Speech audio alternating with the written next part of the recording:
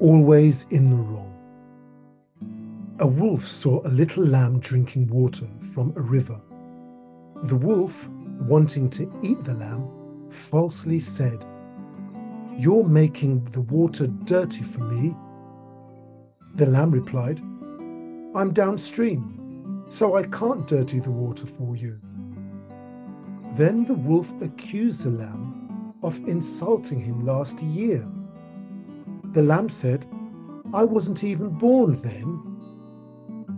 The wolf just shrugged and said, I'm going to eat you anyway. The moral of this story is that some will not listen to reason when they want something unfair. This story is based on Aesop's fables and African folk tales, teaching about injustice and the importance of fairness.